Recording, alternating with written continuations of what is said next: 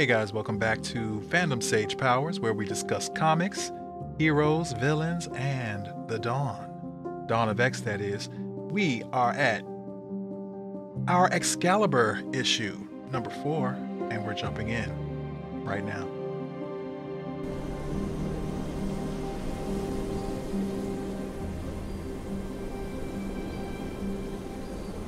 Rogue, I'm tired of this.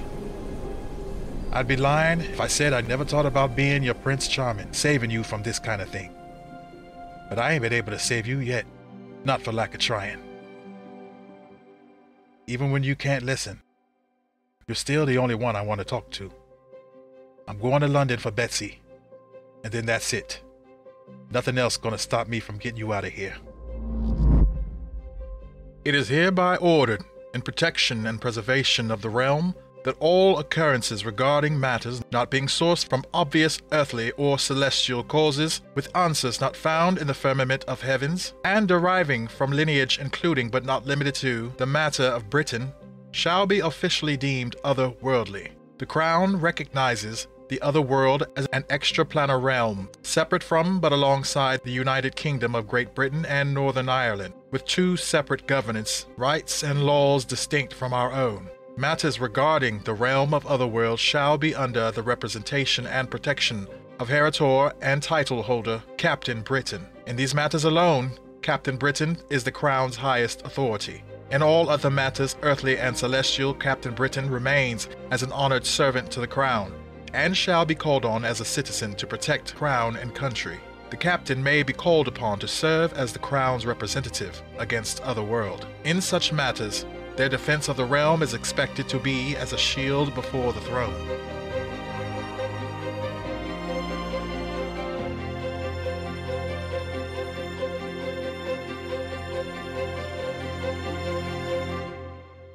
Hey, I heard about y'all.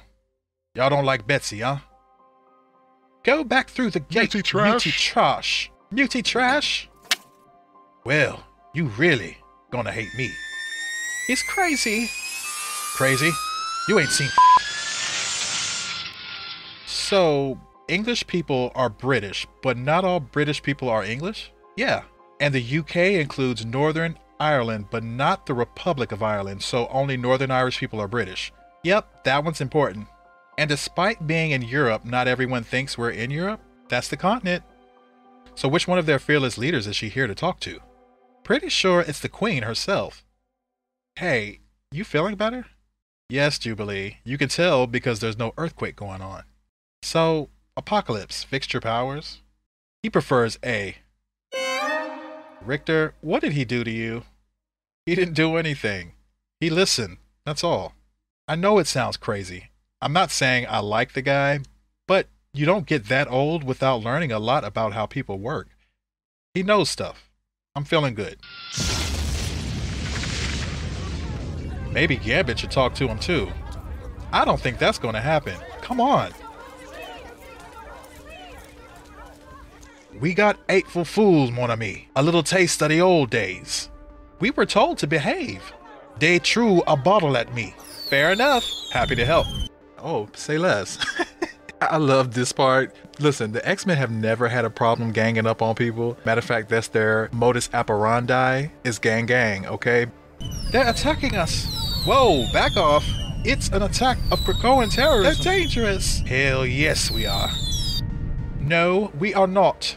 Crowds have been waiting for hours outside Buckingham Palace to catch a glimpse of the new mutant Captain Britain. Not to the people of Britain. Look alive, Betsy. It'll get these vultures to leave you alone. Betsy Braddock, do you have a comment? Not for you, she doesn't. Shoo. What's going on? Is Gambit okay? Yeah, he's just a little fragile. How'd your meeting go? Are we in trouble? We're accountable to the Queen now. All of us. Her Majesty had a bit of paperwork for Captain Britain, and she needed to know the names of who would be working with me. I told her we're called Excalibur. Wait, did they just get drafted?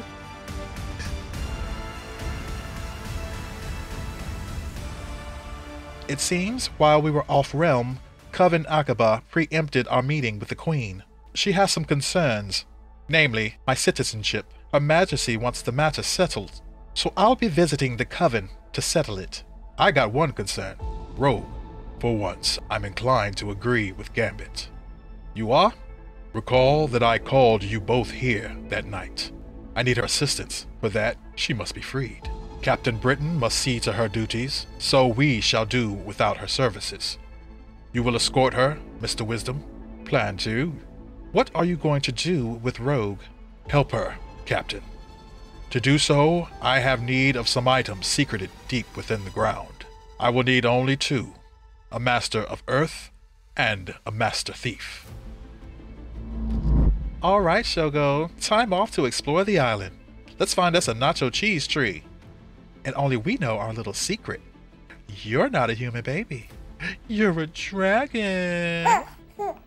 Jubilee, thank goodness. Where's Betsy?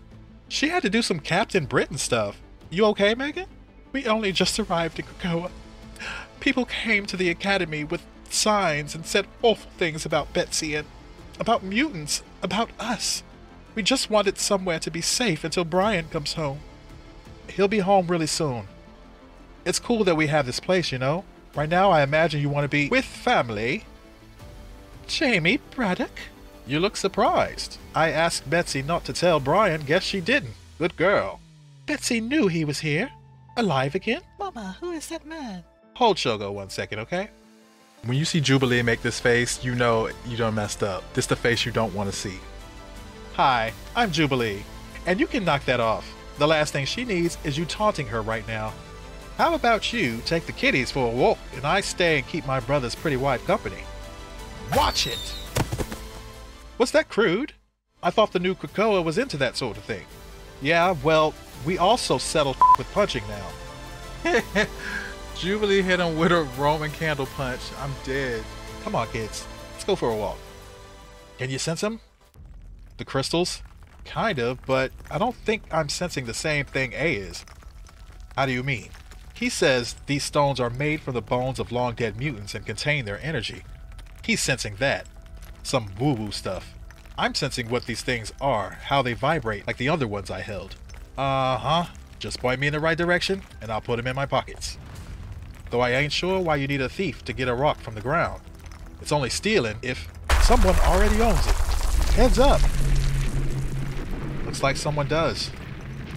No wonder Apocalypse didn't fill us in stealing from druids. Should I be worried? You tell me, mon ami. We are deep in the caves of the earth, and they are the masters of this place. Should you be? Well, I don't want to burn incense about it, but I know a thing or two about moving some earth. Brother, truly, you are powerful. Uh, yeah, very Gambit. We need to find those things and go. Hanging on best as I can here. You gotta point me in the right direction, man. How about I just make you a path? That'll do nicely. But now I just wish I had bigger pockets. I feel like stealing from uh, witches is a bad idea as it stands, but if you feel comfortable with that on your soul, go nuts. Give him here. I want to have both hands on him when Apocalypse asks. He wants them, he can take them from me when he gets Rogue out of that coffin, but not before. Ready to go? Yeah. You feeling watched? No! Rick, we being crushed. I'm trying. Ugh. Was that so hard? I didn't. You, Earth Wielder, child of the loam, not human, not Fey. Your earth working comes from your birth, yes? Comes naturally to you. More or less, when it behaves. The earth can be fickle. Couldn't agree with you more. Are you going to let us leave? My friend here says we're cool with druids. We don't like Coven Akkaba either. Do not assume those who live in the earth trust those who live upon it. But even less do we trust wizards and magi, who wrest power from the gods and stories as though they are theirs to command. We serve the earth, as do you, brother. You are a druid. Oh, I assure you I am not. Your power over the earth is inborn, not learned, like our own. The earth speaks of your coming. For her, the wait for you has been no time at all. Your gifts are not strange or uncontrolled. You are like us. You must live alongside her, not atop her. Rick, this is not what we came for. Your friend is right. These are the things you seek. They are full of witch breed energy, and they have called you here. Oh man. I can't take these. We already took some. Rictor, shh. Yes, you took the ones made out of the same stuff as these, but their energy has been long depleted. We keep them here as a decoy. For thieves. No!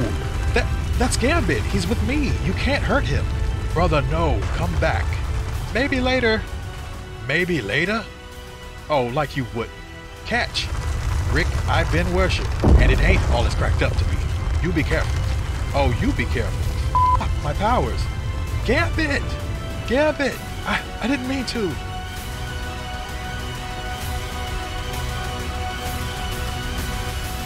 Reuben and I are converts to the cause. Thank you, Mariana. We are not born powerful like mutants. We have a humility that makes us open to serving more powerful beings and wielding their gifts. Perfect gophers for the gods. What a gig. I'll speak for myself. Humility is a gift that allows for one to surpass the ego. We feel no shame in it. But you chose the name Akkaba with all its ties. The name and place existed and belonged to humankind before you existed. I trace my lineage back to an Akkaba before Apocalypse, an Akkaba that belonged to humans, at least before we knew you existed.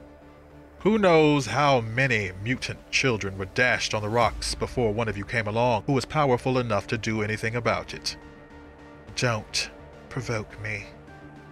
I was sent here by the Queen to settle her fears, fears that you put into her about me.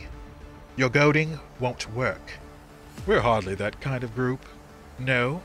Then are you the sort to lure me here as a trap? Your paranoia about mutants hasn't been serving you well if you think I can't sense your bloodlust. Bits, I don't think. You can call me Captain Britain. Do you forget you're a mutant too? Understandably, these are just some of the concerns raised by a mutant Captain Britain. Others are less about your species and more about your nature. Your brother has the humility of a knight. Captain Britain chose between the amulet and the sword. Your choice was foisted upon you. By all reports, Brian gave you the amulet. You did not make the choice. You are no Captain Britain. You are a dangerous pretender. Are you through? Next time you're fearfully obsessing over me, save me a trip and just think your hateful thoughts. I can sense them from paradise, where I live. I serve the Queen, and in times of crisis in the other world, she trusts my judgment over her own, which is unwise as we are proving to her now. What? We aren't setting a trap, just a distraction. Your inexperience is going to become an issue. We warn Her Majesty of such. There's a reason most of us don't resort to dragons at war and Otherworld. Such convenient war machines, you'd think they'd be all over. The reality of Otherworld is so fragile now that it is unmade by dragon fire. And this fire seems to have caught. It's melted a hole in the very fabric of Otherworld, the thin veil that protects our world from theirs. It lures beasts like catnip, the dragonfire does. When reality opens up like that, they just smell fresh prey. As we speak, all the unseelie beasts of Otherworld are tearing their way through that flaming hole you left in Morgan Le Fay's courtyard. If only the Queen could have trusted Captain Britain to do her job, but how can she? What does Captain Britain care? She lives in paradise. Ooh, oh, Coven of Shade, because they did not have to gather Betsy like that. Baby Shogo unknowingly melted a hole in Otherworld, and these creatures are coming through. It is not Shogo's fault that Otherworld's edges are so thin. The war has reached our shores, Rogue. This is merely an opening salvo, meant to test the captain's hand. But we know better. We have been working since the beginning. Haven't we?